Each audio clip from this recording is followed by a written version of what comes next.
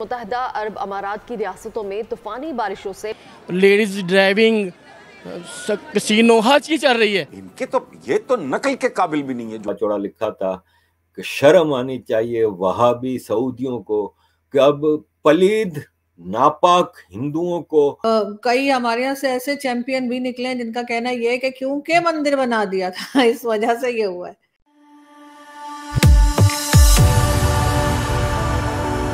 जय हिंद दोस्तों, मेरे चैनल मोदी डिश में आपका स्वागत है। दोस्तों, इस वीडियो को लाइक शेयर और मेरे चैनल को सब्सक्राइब करना मत भूलिएगा।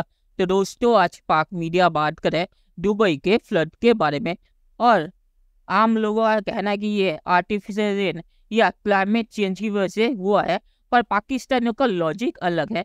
पाकिस्तानियों का कहना है कि दुबई ने हिंदू टेंपल बनाया था और उसके उद्घाटन में मोदी जी को बुलाया था। तो इसीलिए दुबई में फ्लड आया है तो पाकिस्तानियों ने ये लॉजिक लगा के अब ये कहा कि भारत की वजह से दुबई में फ्लड आया है तो पाकिस्तानी मीडिया इस पे बातचीत करे और पाकिस्तानी मीडिया दुबई में जो फ्लड आया हुआ है, उसके लिए भारत को जिम्मेदार बता रहा है, क्योंकि पाकिस्तानी मीडिया का और कोई काम धंधा नहीं है। पाकिस्तानी मीडिया यही चीज़ करता रहता है। दोस्तों, ये वीडियो बहुत ही मज़ेदार है तो इसे पूरा ज़रूर देखिएगा। तो चलिए और इंतज़ार न करके वीडियो देखते हैं। दुबई शारजा और अबूजबी समेत मुतहदा अरब अमारात की रियासतों में तूफानी बारिशों से पचहत्तर साल रिकॉर्ड टूट गया। दुबई में चंद घंटों की बारिश ने सड़कों को दरिया बना दिया। सर एक चीज़ और मैंने आजकल देखी है वाह बड़ी अजीब सी जो हो रही है। आपने देखा होगा दुबई में जिस तरह से बारिशें हुई हैं। जी। आज जो तूफ़ान आया और जो कुछ हुआ वहाँ पे। कई हमारे यहाँ से ऐसे चैंपियन भी निकले हैं जिनका कहना यह है कि क्योंकि मंदिर बना दिया था इस वजह से ये हुआ है। लेकिन खैर इस पे अ, खुशी की बात यह है कि बहुत ज़्यादा लोग इस बात का बिलीव नहीं रखते। कुछ बेवकूफों ने इस किस्म की वीडियोस भी बनाई हैं यूट्यूब के ऊपर जिन्होंने इस बात को मेंशन करने की कोशिश की है कि मंदिर की वजह से ऐसा हो गया। मौजूदा दौर है आप जाके देखें चीन में लेडीज़ ड्राइविंग कसीनो हर चीज़ चल रही है।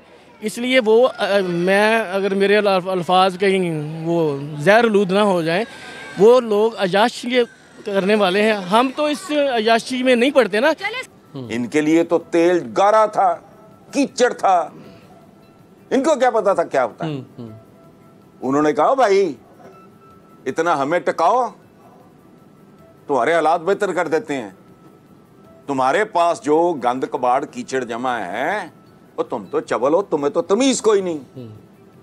हम इसके साथ एक ऐसा काम कर सकते हैं।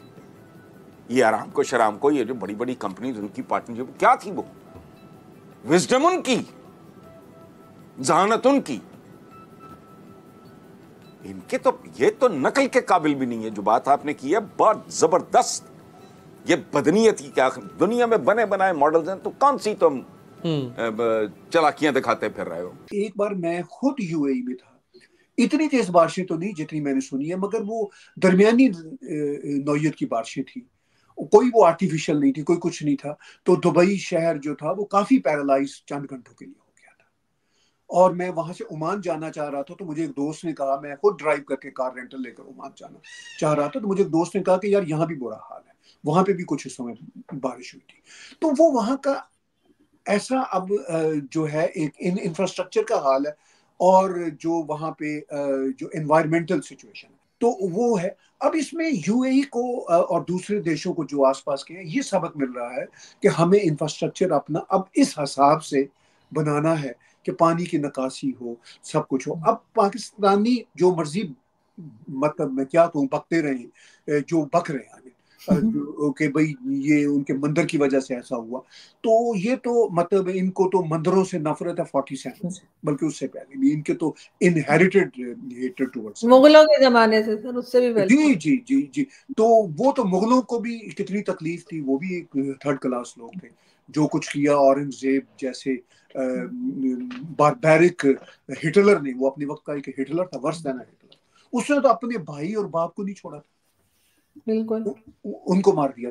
तो ये ये जो इनका है ना एटीट्यूड ये मंदिरों की वजह से दुबई पे अजाब आया तो ये स्टूपिड लोग हैं। इनको कोई अंदाज़ा नहीं है। वो तो मतलब जवेद गांधी जैसा शख्स एक्सपोज हो चुका हुआ है। अगर जवेद गांधी जैसा नाम में हाथ पढ़ा लिखा और नाम में हाथ जिसको हम रोशन ख्याल समझते थे अगर वो आलम दीन इस इस घटिया लेवल पे उतर सकता है तो बाकी लोगों से तो हम कुछ भी तो बहुत हैरत हुई थी उनकी उनकी हाँ। स्टेटमेंट से तो मैं बहुत हैरान मजीद हूँ। भी मजीद भी वही बातें कर रहे हैं तो they are mentally gone people मतलब कोई इनका मुझे अ, इम, इम, इम्कान नहीं रहा बेटे की। तो एनी हाउ यूएई की जो आपने बात की बादशों की जो बात की आई एम प्रेटी कॉन्फिडेंट कि वो लोग इस पे काम करेंगे आइंदा कुछ सालों में। अब वो ये जान चुके हैं कि भी क्लाइमेट चेंज के इश्यूज़ हैं। अग, अग, अगर हमें आर्टिफिशियल रेन भी चाहिए हम्म। तो भी पानी का निकास तो अच्छा होना चाहिए। देल कम ओवर दिस लेकिन मेरी अपनी सोच ये है कि very vast majority of Pakistan है ना वो देखिए मैं मेरे पास मैंने स्क्रीनशॉट निकाल के रखा है। मैं कराची के एक व्हाट्सएप ग्रुप में हूँ जिसमें कराची के सारे पढ़े लिखे यंग लड़के हैं। यंग तो नहीं कह सकते, यंग भी हैं और मतलब थर्टीज, फोर्टीज, ट्वेंटीज की एज वाले हैं। सारे पढ़े लिखे हैं, सारी वाइट कॉलर जॉब करते हैं।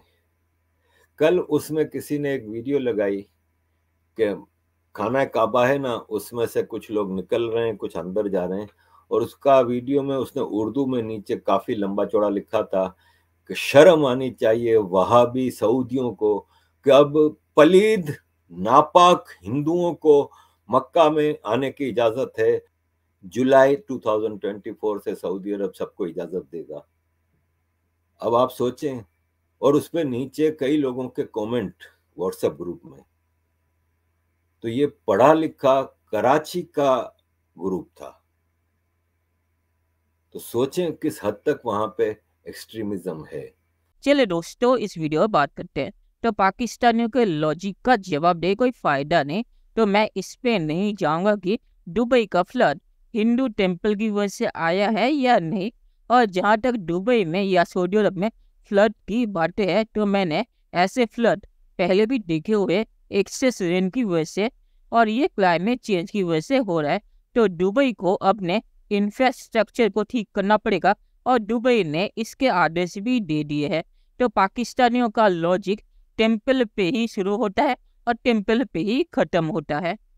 और दुबई ने कहा है कि वो आर्टिफिशियल रेन नहीं था और ना ही उन्होंने कोई रेन सीडिंग की थी, जिसकी वजह से एक्सेस रेन हुआ है। तो ये चीज़ें भी सोशल मीडिया पर चल रही थी कि आर्टिफिशियल रेन की वजह से ज़्यादा बारिश गलती से होगी। तो ऐसा नहीं है, दुबई सरकार ने कहा है। और आखिर में मैं ये कहूँगा कि आरिफ भाई ने सही कही, पाकिस्तान में जो अमीर एजुकेटेड लोग हैं वो भी ऐसी बकवास करते हैं। और ये पाकिस्तानी एक यूट्यूबर ने ही कहा था कि जब उन्होंने एक पढ़े लिखे, बड़े कंपनी के सीईओ से बातचीत की थी तो उन्हें लगा था कि ये थोड़े सेकुलर होंगे, पर वो भी रिलीजियस निकले और वो भी ऐसी बकवास करने लगे तो वो वहाँ से निकल गए। तो पाकिस्तानी यूट्यूबर्स ने भी ऐसी कहानियाँ सुनाई है, जो आरिफ भाई ने यहाँ पे सुनाई। तो पाकिस्तान में हर जगह ऐसे लोग मौजूद हैं। एडुकेशन से इसका कोई रिश्ता नहीं है। तो चलिए देखते हैं कि फ्यूचर में क्या होता है। दोस्तों वीडियो देखने के लिए बहुत शुक्रिया और हमारे चैनल सब्सक्राइब करना मत भूलिएगा। Thank you very much